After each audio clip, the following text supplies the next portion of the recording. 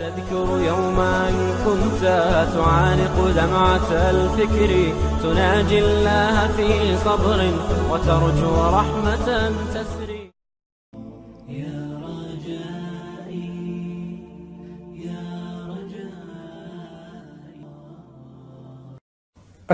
alaikum wa rahmatullahi wa barakatuh. May the peace and blessings of the Almighty be on one and all. Today we will be discussing another very, very important topic, and that is what we see around us. What do we see? We see a lot of things. One of them is everybody is running, everybody is racing. Racing to do what? Racing to get more, to have more, to have the latest, to have everything the others have, and even more and better, and to see who has the best, and so on. This is more like a rat race the race behind materialism. If we are to run behind materialism, materialism has no end. A lot of the times, the example that people give is that of the mobile phone. We always want the latest, even if the phone we have does our job and it is good and it has been faithful to us, we still want to change it. We want to update it. Sometimes when we cannot even afford to have a mobile phone and we would have it, we would borrow, we would live on that which is credit in the sense that we owe people and we don't even have the means to own something and we want it. The same applies to a motor vehicle where you have a person who has a car, they've barely afforded it, but they want another one. They want to update it, and they keep on updating it, and they look at the other one, and they want that one as well. And then they are never happy with what they have because they see what others have. We are taught as Muslims, be happy with what you have.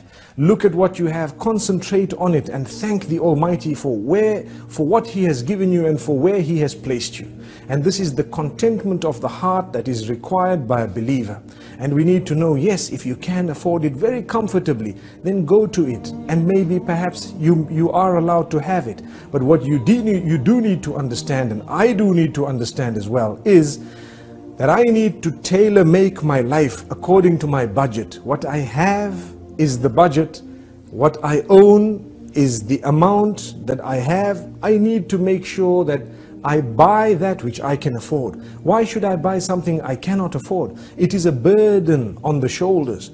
It is something that will bog me down. It is always a worry in the mind. Some people have, and we've seen this happening even in advanced countries, some people have lived on credit all their lives. So they have a job, the job pays them a good salary, their car is on hire purchase, the furniture is on hire purchase, the television on hire purchase, the computers on hire purchase, the phones on hire purchase, uh, the furniture, everything on hire purchase. So much so that even their holidays are not yet paid for. And they've just swiped a card and it keeps on adding. They did not calculate that one day we might lose the job. Then how are we going to pay for it? And this has happened. It has happened in the most of advanced, in the most advanced of countries. And we need to know that it can happen anywhere. And for this reason, Islam teaches us, don't live on credit. Live your life according to your means. If you cannot afford a holiday, don't go on it. Or go on a more basic holiday. If you cannot afford a mobile phone, don't have one. If you cannot afford a vehicle, go with public transport. It might be better for you. And so on. Yes, we should aim right at the skies. No harm in that. But do not pretend like you're living on a cloud when you have not yet moved above the ground because that will probably bring you crashing to the ground and this is why we say the race towards materialism does not stop it continues the more we run the faster it runs so we continue running behind it and there is no stopping sometimes it even gets to our marriages and this is a point that might be a red button being pressed but we need to say it when a person is used to changing everything, every time a new model is out, they want a new car, a new phone, a new watch, a new this, a new house, a new... Some people who are weak, it might even seep into their marriages where they no longer are interested in their own wives. Why? There is a new model out, so to speak. What does that mean? There is someone who wears a different type of clothing, who has a different cut, different likes, and everything is totally different, much younger and so on. We need to be careful. We should never allow this to seep into that department of our lives. And for this reason, we say, harness it from the very beginning and you will be calm. You will lead a relaxed life. How many poor people do we have who sleep very well. And on the other hand, how many rich do we have who cannot sleep without a sleeping pill? How ironic. It should have been the other way around. But the reason is, sometimes the more we get, the more we want. And for this reason, the Almighty keeps us sometimes slightly backward so that we can enjoy our sleep. We can have a happy home. So many people, that when they've got enough money, enough time, enough good health, so to speak, they tend to think of sin. And they'd like to go and spend it in the casinos, you know, on people whom they are not supposed to be spending it upon, spending nights out, engaging in adulterous affairs, and so on, because they've got the time to do that, the wealth to do that, the health to do that. So, as a gift of the Almighty, He sometimes keeps us less wealthy so that we don't even go there. He sometimes keeps us less healthy so that we don't have the health to do that. And sometimes He keeps us occupied so we don't have the time to do that. And we lead a happier home, a happier life, a happier family. Our children are always with us on our laps, you know, having the meals with us and so on. Whereas you have sometimes those who have been given a lot they don't have a meal with their children. Their children are distant. They have a relation with them which is very plastic, or should I say, very cosmetic. We ask the Almighty not to make us from those. Yes, there is an exception. There are those who are wealthy, and they use their wealth in the right direction, and they do not allow that wealth to develop, or should I say, to change in a negative way their character and conduct. Because sometimes what wealth does, it messes a person up. Or, to word it more correctly, as we've always said, wealth does not spoil you, but it gives you the opportunity to show who you always were inside. And I think we've explained this in the past. Like someone working for a boss, and his boss tells him something he doesn't like, he might be very upset. He wants to show it, but because he's not as wealthy, he cannot show it. So he says, Yes, sir. Thank you, sir. Okay, sir. But his heart is bubbling and bursting with all this, you know, uh, want to actually clarify and to answer back. He hasn't done it because of his standing. The minute he gets wealth, the wealth did not spoil him, but it gives him a chance to answer back and say, Who do you think you are? If you have, we have as well.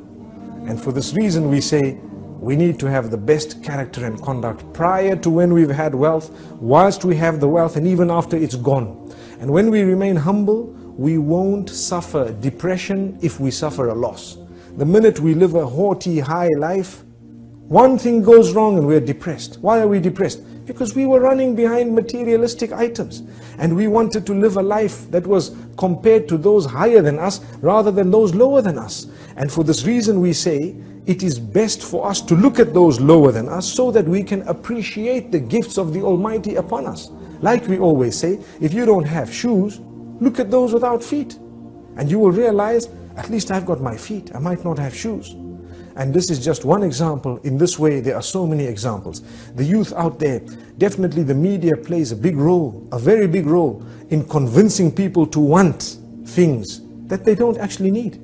And this is why we need to distinguish between the wants and the needs. You need something that is different. But when you want something, can you afford it? Is it necessary?